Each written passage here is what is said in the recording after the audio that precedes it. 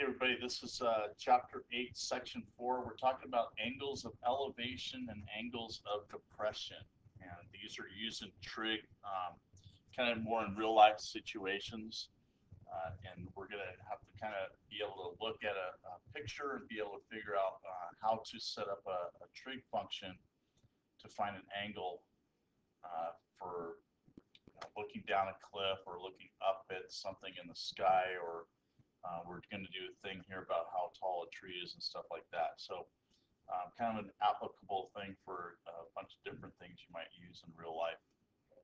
Um, the first definition that we have here uh, is about angle of elevation. Okay, so remember if I'm going a little too fast, hit pause and get your notes cut up and then hit play again and get back with us. Okay, so an angle of elevation is angle formed from a horizontal and then looking up. So here's here's my horizontal and that's created then by looking up at something.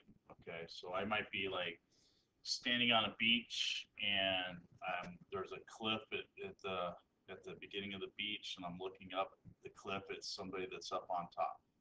Okay, uh, I could be standing let's say in the upper quad here at school, I'm standing in the upper quad and I'm looking at the top of the A building or I'm looking at the top of the MP building. So this is a way for me to be able to figure out um, what the angle is or I could use the angle if I knew it and find out the height of the building or the height of the cliff. Okay. An angle of depression is kind of like when I'm looking down at something. So I have a horizontal here, but this horizontal is kind of like up in the sky kind of thing. So if I'm standing on a cliff, it's like I'm looking straight out, not down, but just straight out.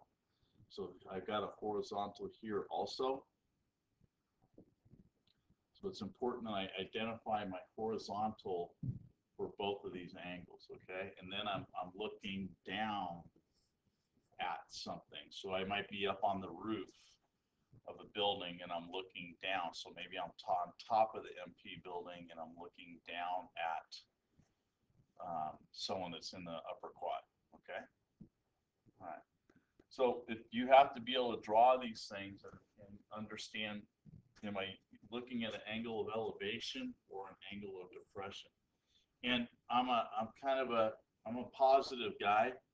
And so I, I really don't like angles of depression. They make me sad. And sometimes it's hard for me to kind of, that for whatever reason, hard for me to picture it. I always turn my angle of, ele- of depressions into angle of elevations. So I'll show you that in a moment how to do that. I think most kids kind of understand it a little bit easier that way. Okay. If you've ever watched um, National Lampoon's Christmas Vacation with Chevy Chase in it, you you saw that they went out hunting for a Christmas tree and then they got home and the tree didn't fit. It was too big for their family room. Okay. So this is a, a way that we can use angle of elevation. So let's we're going to draw a horizontal from our lumberjack guy basically to the middle of the stump of the tree. I'm going to draw a horizontal I mean, I'm sorry, an angle up to the top of the tree. So here's my angle of elevation.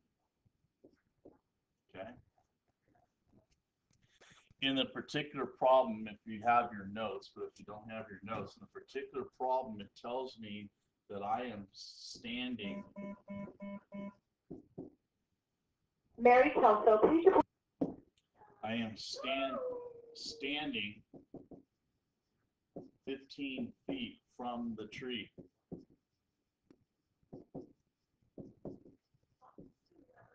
Okay, so let's label that distance then as 15. Okay. In the particular problem that we have, they tell me that I have an angle of elevation, and I'll abbreviate elevation, of 40 degrees. So I'm going to make this 40 degrees down here, okay? So with angle of elevation, with angle of elevation, and angle of depression, you have to create the angle. You got to be able to draw it correctly. So angle of elevation, I'm looking up. So I hope that under you're understanding how to do that. Now that I have this, I need to find the height of the tree. So I'm going to call that x. And let's get rid of this other x now. Okay. Because now it's 40 degrees. Okay. And now I gotta set up a trig function. So let's make sure we understand something here too. Well, I'm assuming that the tree and the ground make a right angle.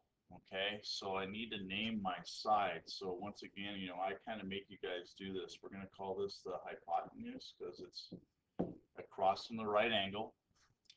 The angle that I have is 40 degrees, it's right here. So this side here is opposite it. So that's the opposite side. And this is the adjacent side. Okay, so I got to figure out using SOHCAHTOA which trig function that happens to be.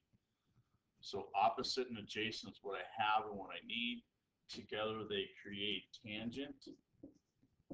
The angle that I have is 40 degrees and the opposite side, I called it X. The adjacent side we were told is 15 feet. Okay. So there you go. You got your trig function set up and we're going to go ahead and um, do some calculations here. So when I put, you know, using my calculator, I put tangent 40 in, I think I get something about 8.8391 and x over 15. The way that this is set up allows me then just to multiply the two numbers together to get x. And I get x is 12.5 feet. Okay, so, you know, the trig there should be pretty straightforward for you at this point. You had to draw the picture. Okay, the rest of the question says that the ceiling in the living room is 12 feet. So will this tree fit? And as it is, where I cut it off, the answer is no, it will not fit. So I might have to trim it a little bit more, or maybe I just go cut down another tree. Okay? So there's your, you can use that next Christmas with your parents when you're out looking for a tree and you could, you could show them, I could figure it out. Um, I'll bring my trusty clinometer with me and a tape measure and we'll figure it out together, okay? All right. Next question is a sniper question. And in this particular problem, if you don't have your notes, they kind of give us some stuff. They tell tell me that the sniper right here is camouflaged and he's on top of a 30 foot cliff. Okay. Looking down at a guard or sentry on, on flat ground. Okay. They, the angle of depression is 24 degrees. So remember what I have to do for angle of depression is to draw a horizontal and then draw an angle to this sentry. Okay. This angle of depression that's created now is 24 degrees. Okay. The um, in this particular case, this it's an old-fashioned looking soldier, but he's got uh, night vision goggles on, and the night vision goggles give him a a radius of 70 feet of vision. Okay, we want to know is is that is that sniper out of his night vision? Okay, so I have to find X. All right. Now this is to me like now I gotta I gotta do something else. I, I have to draw another thing here to match the 30, and that's how I'm going to get my picture.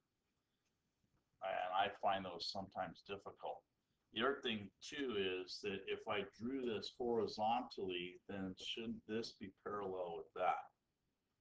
And if it was, then I could use some transversal rules and I could say that this is 24 degrees by um, alternate interior angles. So I don't know if you could see that, but X is really my, my transversal line and it's with parallel lines that makes those two angles equal. So I kind of turn my angle of depression into an angle of elevation.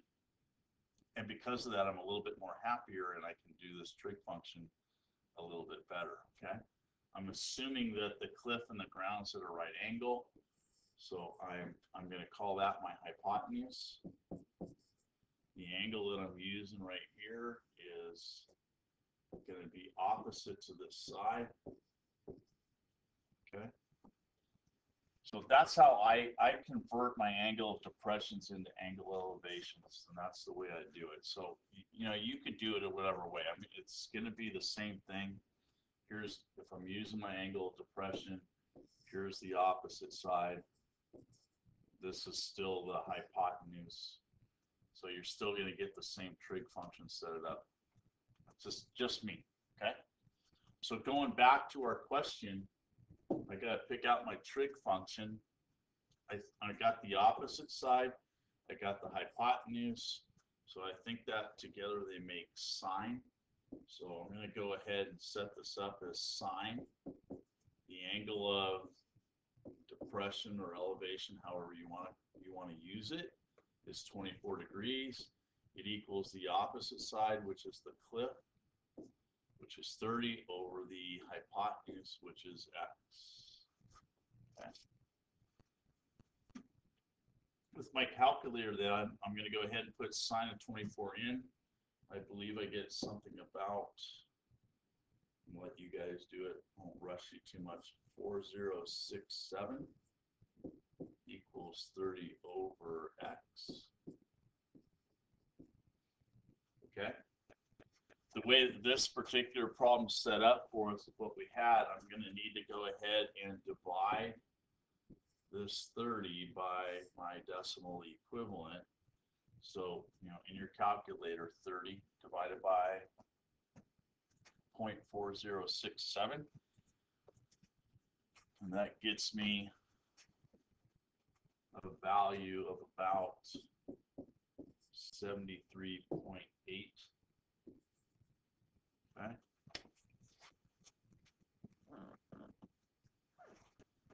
So this guard had infrared goggles or night vision goggles that could see up to 70 feet. And we want to know, is the sniper camouflaged? And this answer would be yes, because he's outside of the limits of the night vision goggles, okay? All right. So using stuff in real life. Um, I like angles of elevation. You can change depressions into elevations, kind of using our transversal stuff. You don't have to. You can, you know, I showed you both ways basically. You get the same thing no matter what. Um, so you, you do it what you feel comfortable with. Okay. All right. If you have any questions, make sure you ask, get a hold of me. Make sure you work really hard on the uh, classwork that goes with it. Thanks.